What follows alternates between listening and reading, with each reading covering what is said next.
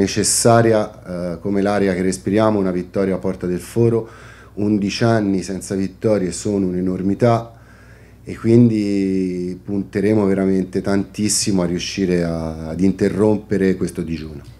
Il quartiere di Porta del Foro riparte da Roberto Felici, figlio dell'ex rettore Giancarlo, che si avvia così a diventare il nuovo rettore di Porta del Foro, dopo aver vinto con 282 voti le elezioni del quartiere Giarlo Cremisi.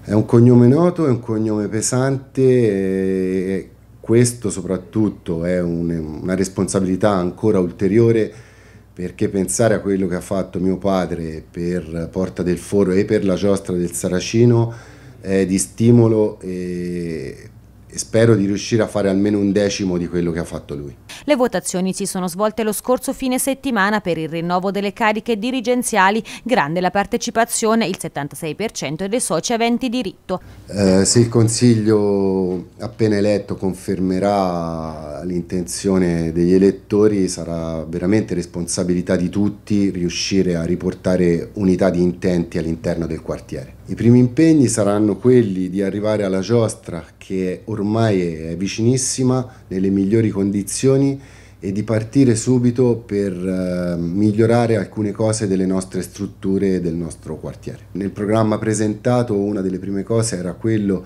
di fare anche noi il museo della giostra, il museo del quartiere e di rendere un pochino più accogliente nei limiti del possibile la nostra sede, il nostro circolo. Resta invece ancora da sciogliere il nodo attorno al ruolo di capitano dopo che Dario Tamarindi ha deciso di fare un passo indietro.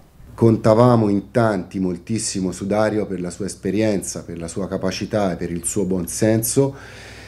Speriamo che non ci abbandoni, che ci rimanga vicino lo stesso e adesso valuteremo tutti insieme chi scegliere come capitano.